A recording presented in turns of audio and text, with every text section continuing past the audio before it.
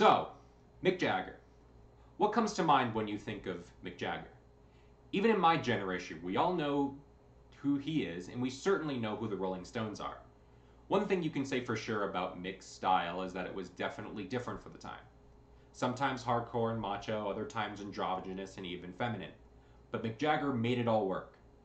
Jagger's image contributed to the brand success of the Rolling Stones, and Jagger wore it all with the utmost confidence and no regrets. The Rolling Stones started their career in the early 1960s and continued throughout the decades. The Stones are still touring. The group of Jagger, Keith Richards, and the drummer Charlie Watts goes all the way back from when they first joined together in the early 1960s. Mick Jagger had pursued an education in economics and accounting and was accepted into the London School of Economics. However, Mick left school to pursue his interest in music and develop his musical style, and follow his love for the blues. Ultimately, this business background did help contribute to the success of the Stones. One of the reasons why they moved out of country is to avoid high taxes. Still, the success of Mick Jagger and the Rolling Stones brand lies on their public image a bad boy, rough and rowdy image intertwined with a flamboyant style, breaking gender and dress barriers contrary, contrary to the culture of the early 1960s.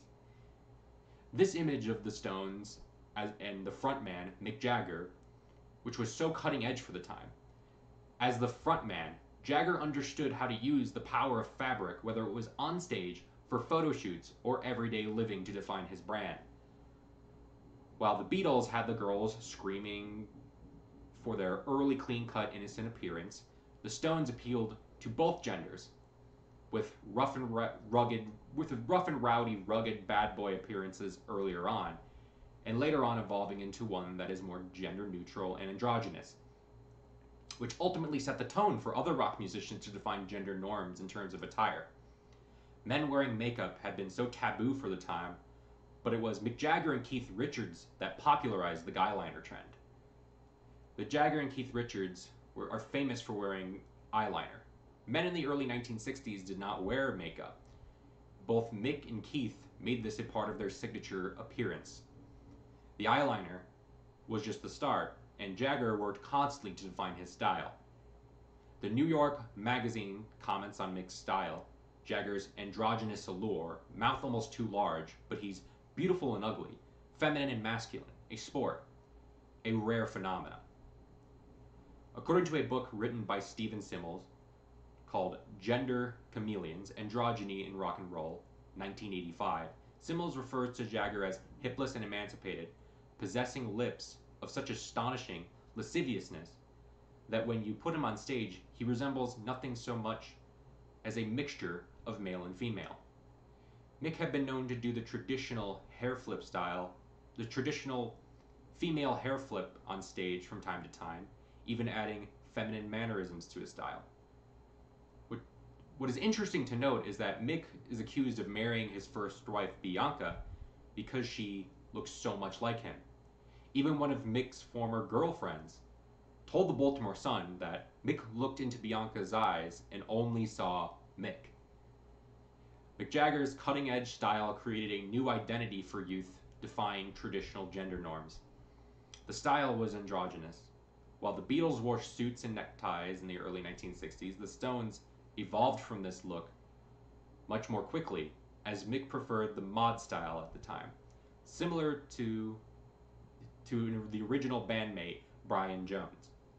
Mick also, was also influenced by Jimi Hendrix. Jimi Hendrix type, which Mick embraced, was conventionally feminine.